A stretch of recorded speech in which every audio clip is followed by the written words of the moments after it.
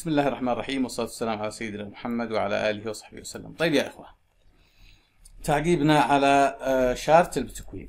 طيب لو نعرف يا إخوة أن إحنا في الفيديوهات السابقة زي ما إحنا موضحين في الفيديو اللي وضعناه قبل خمسة أيام أنه تحدثنا عن البتكوين وأنه ممكن نهبط أو نتذبذب بشكل عرضي وبعدها نهبط أو نصعد إلى تقريبا 31 ومنها يكون الهبوط زي ما إحنا موضحين. شوف. هذه يا إخوة تعتبر القاعدة العامة. يعني أنا لما أعطيك تحليل خلاص. اعمل حسابك مثلا في الدخول أو في الخروج إنه البتكوين ممكن يتحرك ما بين 31 وما بين الأسعار الحالية.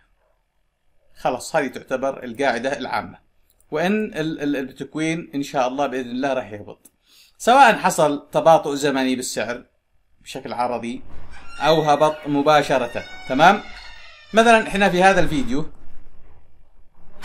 يوم 25 فعلا رسمنا ال fractal بهذا الشكل يا إخوة.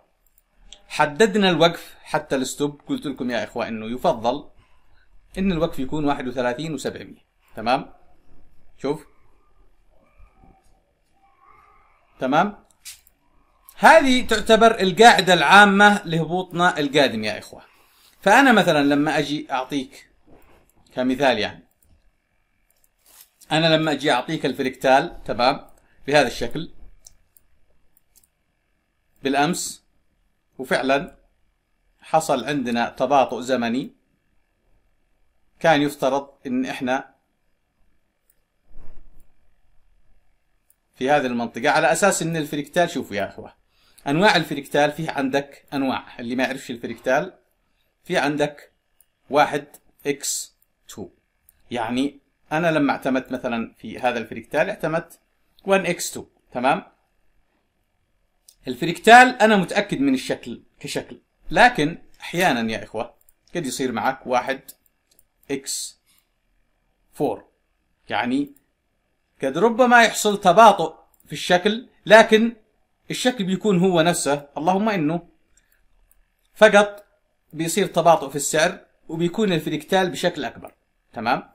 يعني أنت بتكون مثلا في السليب لكن الفريكتال بياخذ شكل أكبر. لكن إحنا متأكدين بإذن الله إنه ما راح نخترق اللي هي القمة آه الأخيرة إن شاء الله. وزي ما تحدثنا إنه الوقف ممكن يصير 31 و700 31 و600 والهبوط إن شاء الله بإذن الله راح يصير إلى 28200 بإذن الله وممكن أسفل عن 27 فاللي حبيت يا إخوان ان أنا أوضحه في هذا الفيديو أنت لازم تكون مركز على تغريداتي. مثلا إذا أنت بتتابعني أو غالبا عندما تدخل في صفقة مثلا بتتابع التحليل اللي أنا أضعه مش تشوف لي مثلا الانعكاس هذا لا يا أبو سام السوق عكس عليك السوق ترى رجع صعود السوق كلام غير صحيح غير صحيح يا إخوة. أنا دائما أنزل في الفيديوهات أقول لك دائما الإخوة اللي بيتابعوني ركزوا على الفيديوهات اللي أنا أحطها. وركز على شكل ال fractal اللي أنا أضعه.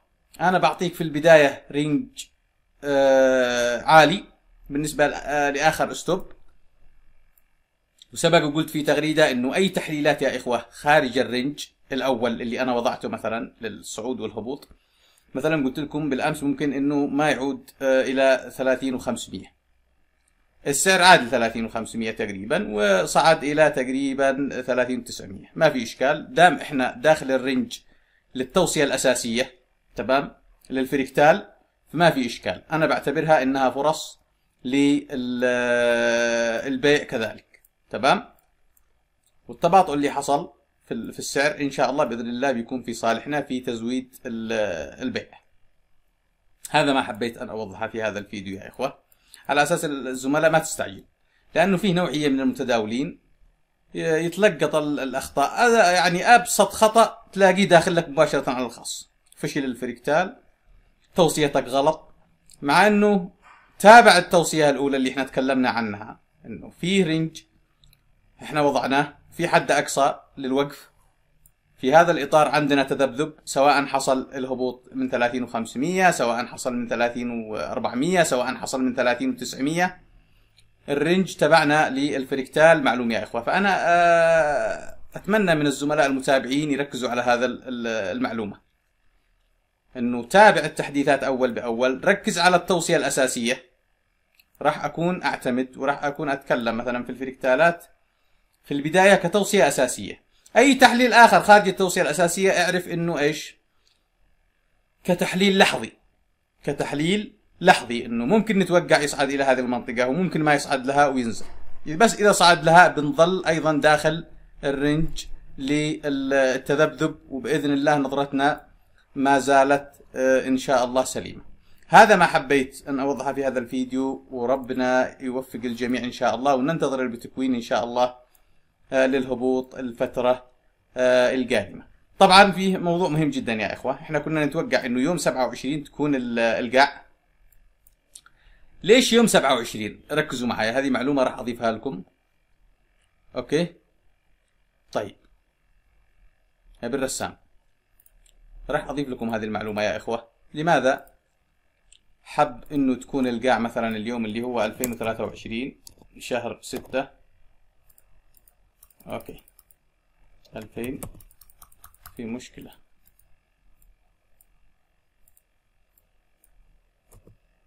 ألفين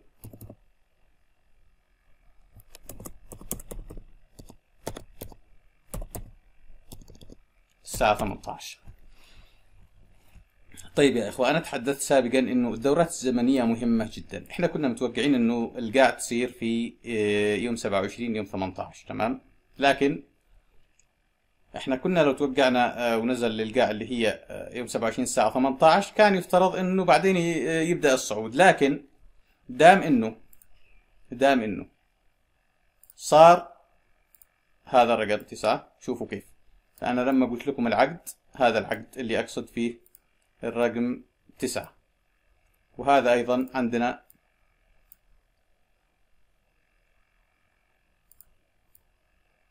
تسعة.